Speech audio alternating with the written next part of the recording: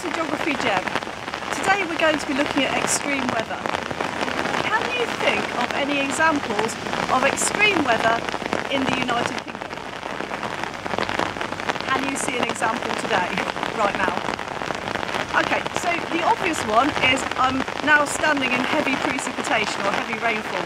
So one example of extreme weather in the United Kingdom is sustained heavy rainfall and strong winds.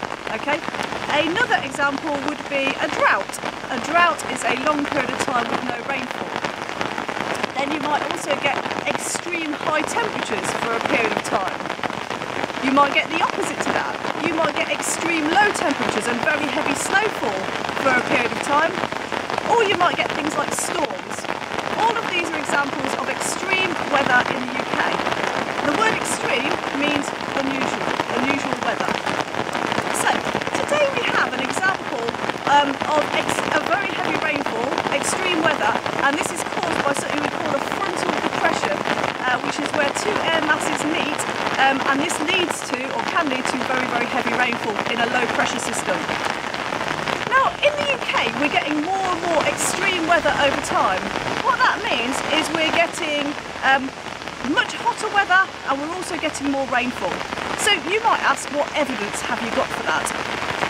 Over 20 years, we've had the 10 hottest years on record. There's some evidence for you. That's evidence that the temperatures are rising on average across the UK.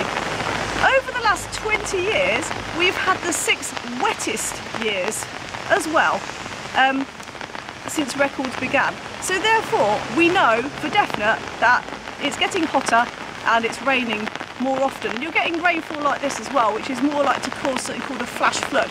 So we're getting more and more events like flash floods, which is when you get a really, really big flood very, very quickly. So you might ask why that would be. And most scientists believe it's due to climate change, probably man-made climate change. Um, we're releasing fossil fuels up into the atmosphere. They are forming a blanket of carbon dioxide and other gases like methane around the planet which traps in the solar radiation, the sun's heat, and it can't escape. And therefore, it's gradually warming the whole planet up. Now, in terms of the UK, what that means for us is it means that the temperatures are rising. So that kind of explains why we're getting hotter and hotter summers. In terms of rainfall, um, we're getting more rainfall as well. One of the reasons for that is because the sea temperatures are rising. And if the sea temperatures rise, you get more evaporation and more water than to condense, cool, form clouds and rain. So you're getting an increase in storms across the UK. And in places which are hot, um, you're, you're getting an increase in hurricanes as well. And there's always the possibility in the future that the UK may get hurricanes if the sea temperatures continue to rise. Finally, in general, just if you've got warmer air, warmer air can hold more moisture than colder air. So if you warm the planet up, you're likely to get um, more heavy precipitation like you've got today because you've got warmer air that can hold more water than colder air can.